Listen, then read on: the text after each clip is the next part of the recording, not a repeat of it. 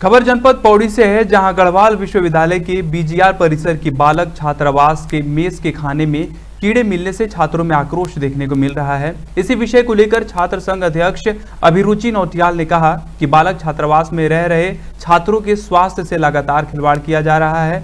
उन्होंने कहा कि बीते तीन माह में कई बार खाने में कीड़े पाए गए। इसमें प्रशासन से लेकर विश्वविद्यालय प्रशासन से शिकायत की गई, लेकिन कोई कार्रवाई अभी तक अमल में नहीं लाई गई है, जिससे लगातार छात्रों में आक्रोश है। इसी बीच परिसर के निदेशक प्रोफेसर यूसी गैरोला ने कहा कि इस मामले में छह सदस्यीय समिति का गठन किया गया है।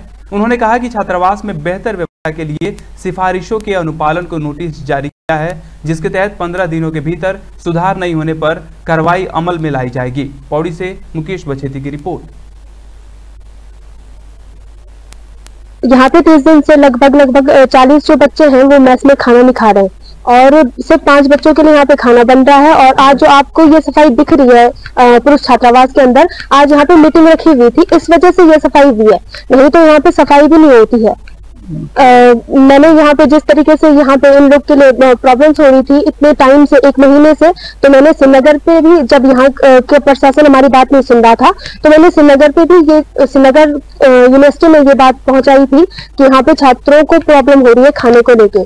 तो वहाँ पे भी इनको पंद्रह दिन का दिन दिया हुआ था कि इसको पूरी कार्रवाई की जाए और ये आज हुई है यहाँ पे कार्रवाई। इतने दिन से मतलब यहाँ का यूनिवर्सिटी कोई कार्रवाई नहीं कर रहा था। हॉस्टल में मैच चलती है हमारे यहाँ इसमें बच्चों ने शिकायत की थी कि भोजन में कीड़ा मिला है। तो उन्होंने शिकायत की तो हमने मैच इंचार्ज जो है उसको बताया कि ऐसे ऐसी शिकायत आ रही है। तो उसने कहा कि नहीं था। फिर हमने उसके बाद चलता रहा, लगातार निगरानी होती थी मैस की। तो बच्चे लगातार जो है उसमें कंप्लेन करते रहे कि इसको हटा दो मैस वाले को।